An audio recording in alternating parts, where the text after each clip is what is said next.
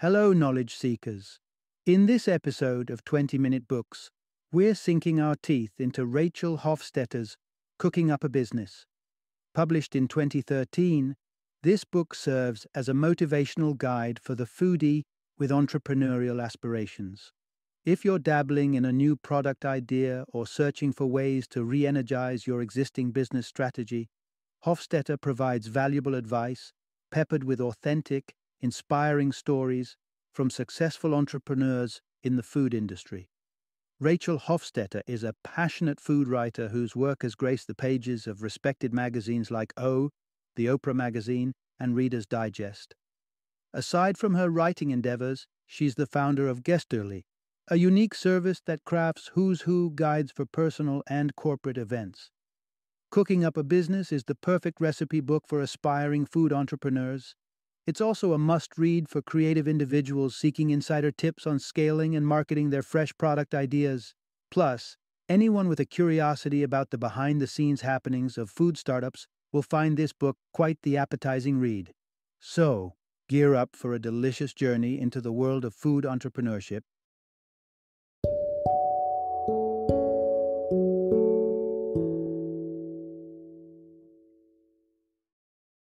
Cooking Up a Business Lessons from Food Lovers Who Turned Their Passion into a Career and How You Can Too.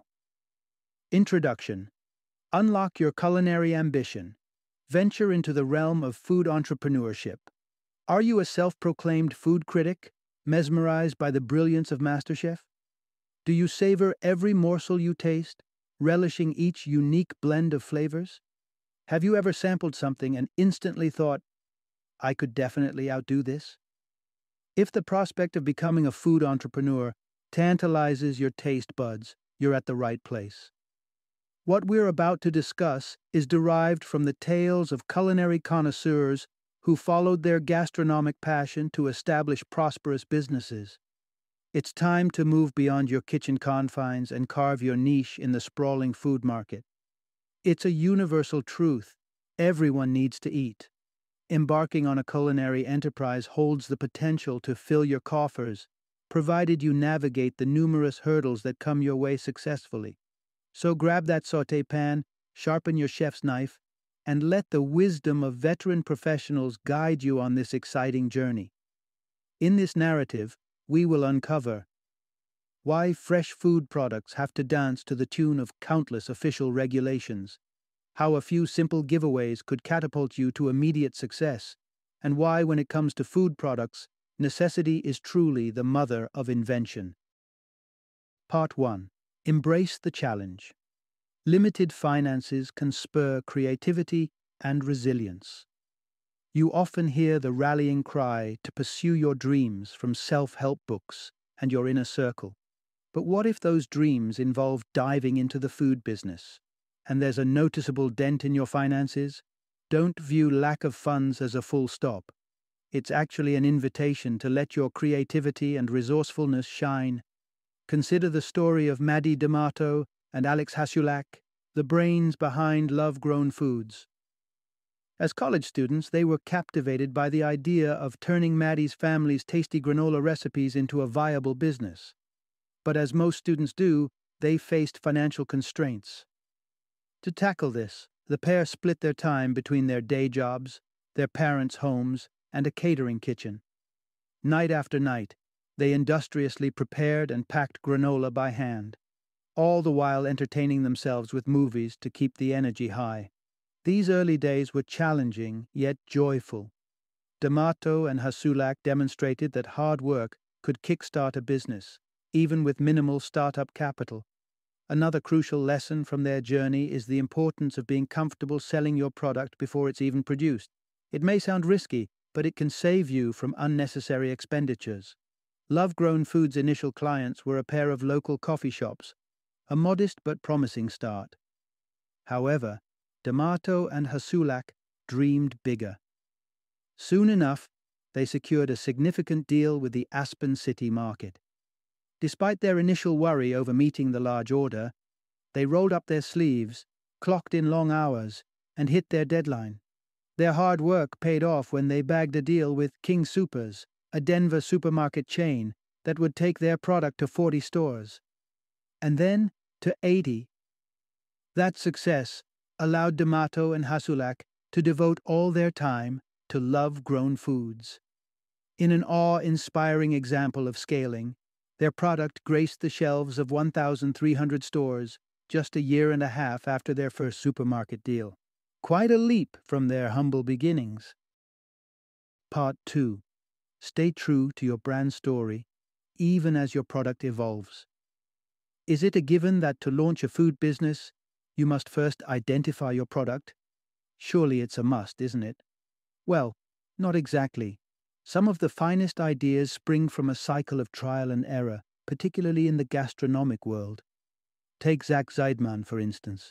He was certain that he wanted to aid organic farmers in Costa Rica, but finding the right product to market successfully took him a bit of time. Zaidman was enchanted by the Costa Rican landscape. However, he saw that pesticide use in banana farming was causing considerable damage to this beautiful region. Furthermore, the working conditions on the banana farms were subpar, and this motivated him to do something to ameliorate the workers' plight. Merely importing bananas didn't offer enough support to the farms to gain a competitive edge in the broader market. Hence, Zaidman explored the idea of selling banana vinegar, a local product. He also imported chocolate and dried fruits. To his astonishment, the vinegar didn't take off, but the chocolate became a crowd pleaser. Today, his company, Kopali Organics, has its products on the shelves of all Whole Foods markets across the United States. Even though Zaidman's initial product didn't hit the mark, his fallback idea and the compelling brand story, focusing on organic, fair trade products, struck a chord with consumers. Parallelly, entrepreneurs Shannon Swanson and Leanne Weintraub embarked on their food business journey without a definitive product in mind. As young mothers, they aspired to supply children with organic baby food. They envisioned their company at the forefront of the market, but the how part was still a mystery. After a session with brand strategist Susan White, Swanson and Weintraub concluded that their company would revolve around three primary attributes authenticity, complete organic composition, and, crucially, a fun element. Though they ultimately swapped their product line from baby food to children's fruit snacks, they steadfastly adhered to their original brand values. Part 3 The Delicate Dance of Scaling Maintain control and pivot when necessary. A good number of triumphant food entrepreneurs kickstart their journey from their home kitchen, turning a cherished recipe into a business venture. However, Scaling that modest kitchen recipe to a business operating across multiple states isn't a piece of cake. Mary Waldner's experience emphasizes the importance of retaining personal involvement in production during scaling. She was motivated to start a gluten free product business, having been diagnosed with a gluten allergy herself, a condition relatively unknown in the 1990s. Waldner created gluten free crackers, which quickly became a hit among her friends, encouraging her to develop the product commercially. And that's how Mary Gone Crackers came to be. As the demand for Waldner's crackers soared, her team initiated a co packing operation. Even though this represented a significant leap forward, it introduced a new set of challenges. Waldner found herself with less control over her product and the crackers weren't being made to her exacting standards. This predicament prompted a change in direction. Securing venture capital, Waldner set up her own factory. Despite producing less volume, she regained control over the production process. This move improved her product quality, and Waldner chose to let her brand and company evolve at a slower but more sustainable pace. While some businesses risk scaling too swiftly, Others find scaling a tough mountain to climb. Phil Anson aimed to wholesale fresh burritos, but grappled with stringent food regulations. As production shifted from his Colorado cabin to a commercial kitchen, Anson discovered that fresh wholesale products containing meat were legally required to be prepared in a USDA approved facility. After five years wrestling with cost, distribution nightmares, and issues with shelf life, it became glaringly evident that his fresh food product was simply too challenging to scale for the wholesale market. So Anson did some research and decided to pivot to frozen food, as these products are much more scalable compared to fresh items. Today, Anson's Evol brand of frozen burritos can be found in 7,000 stores, a staggering increase from the 400 that stocked his fresh product. Part 4 Leveraging short term credit and equity partnerships for a cash strapped start.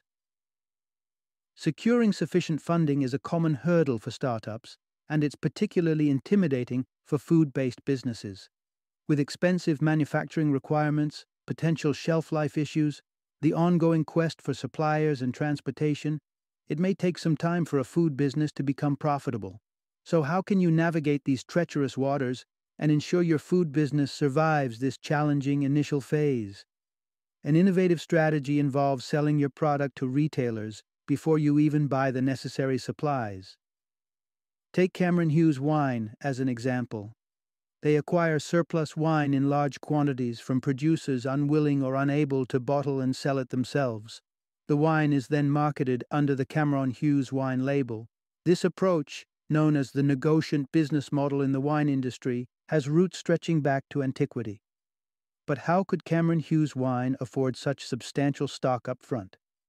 The answer lies in a second strategy. Cameron Hughes sells its wines to bulk retailers, and these retailers offer a short term line of credit that Cameron Hughes uses to procure the bulk wine. Once Cameron Hughes Wine delivers the stock, the credit is repaid in full. This strategy provides an effective means to scale up a business without significant initial capital. Equity or offering company shares is another avenue to explore when capital is scarce. When entrepreneur Justin Gold of Justin's Nut Butters wanted to scale up his business, he knew he needed the wisdom of an experienced businessman. Lance Gentry was the man for the job, chosen by Gold due to his impressive track record of transforming a small scale company into a $25 million enterprise. While Gentry's skills were unquestionable, Gold couldn't afford to pay him the high salary he was accustomed to. So, Gold opted to compensate Gentry with shares in his company. Gold and Gentry then joined forces to attract more investors, dividing the shares equitably among them so that Gold maintained ultimate decision making authority in the business. This network provided the much needed impetus for Gold's business to soar. Part 5 Mastering the Art of Product Creation, Identifying Needs and Designing for Simplicity or Luxury. In the realm of food entrepreneurship, almost any food can be transformed into a marketable product. But is there a recipe for determining which food items are ideal for commercial ventures? Honestly, there's no magic formula, but what's most critical is identifying a unique need that your product can fulfill. Whether simple or luxurious, products that serve a vital need have a higher chance of success. Take, for instance, the journey of food entrepreneur Kara Goldin. Keen on reducing sugar intake for her family, Goldin faced a challenge. Most commercially available flavored drinks were loaded with artificial sugars, but water, while healthier, was too mundane, especially for her children. Within this challenge, Goldin found an opportunity a void in the market for a flavorful drink without sugar. Adding some fruit pieces to water, Goldin concocted a subtly flavored drink she adored which later became the blueprint for her product, Hint. Goldin's tale illustrates how even a straightforward need can birth a simple yet appealing product. Luxury products also can effectively satisfy particular customer needs. Consider the story of Katrina Markoff. Having worked in numerous elite restaurants, Markoff had developed a fascination for unique flavor combinations leading her to globetrot in pursuit of diverse tastes. Upon returning home, she found that her once favored American made chocolate tasted overly sweet and artificial. This observation sparked a realization. There was a market for chocolate that catered to more refined tastes. Inspired by the flavors she encountered in India, Markoff experimented with her own recipes. With a collection of successful recipes, she concluded that her brand, Vosges Haute Chocolat, should exude luxury, matching the exquisite taste of her product. The packaging, marketing, and the ambience of her retail outlets all mirrored the rich, lavish experience her chocolates offered. Part 6 Cultivating Customer Curiosity with Strategic Free Samples and Personalized Promotions. Is it even possible to resist free samples at a store? It's a simple marketing trick that works like a charm. After all, experiencing a delectable new flavor is often all it takes to persuade a customer to make a purchase. So, why not encourage a potential customer to try before they buy? Offering samples is a compelling method to pique customer interest in your food product and the backstory that accompanies it. Take, for example, the team behind Love Grown Foods. Their initial promotional strategy involved crisscrossing Colorado, offering free granola samples in supermarkets. This humble approach got people buzzing about their product. However, such an exhaustive campaign might not be feasible for everyone. In such instances, you can opt for a targeted campaign, distributing samples at places frequented by your prospective customers. Keith Belling employed this strategy when he launched Pop Chips, his low fat alternative to baked and fried chips. His promotional campaign started on the West Coast, aligning his health centric snack with the wellness oriented lifestyle prevalent in Los Angeles. Upon reaching New York, Belling understood the necessity of adapting his promotional tactics to this tougher market. Alongside offering samples at grocery stores, Belling also distributed them at high profile events like Fashion Week. His chips gained popularity as he zeroed in on influential celebrities, sending them sample packages along with personalized handwritten notes. Within a year, Pop Chips was available in over 2,000 stores in Manhattan alone. Belling's story is a testament to the power of strategic promotional moves in generating buzz for your business. Final summary Are you drawn towards the idea of transforming your fervor for locally sourced produce, wholesome eating, or fair trade practices into a thriving business venture? Then, by all means, take the plunge. A food based business does come with its fair share of challenges, from tackling the issue of funding to the task of scaling your operations. However, with a dash of resourcefulness, a sprinkle of creativity, and unwavering commitment to your brand's core values, you'll undoubtedly savor the sweet taste of triumph as the world relishes your innovative food product.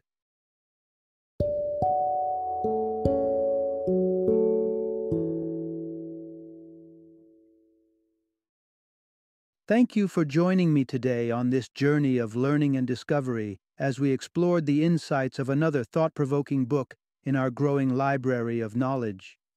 If you've enjoyed our time together, please take a moment to follow our podcast, give us a five star rating, and share 20 minute books with other knowledge seekers. Your support truly means a lot. Don't forget to join me again in the next episode, where we will delve into another enriching book. Until then, Happy reading and happy listening.